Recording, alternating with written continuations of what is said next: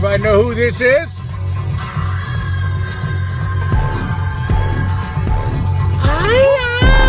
Hate this at the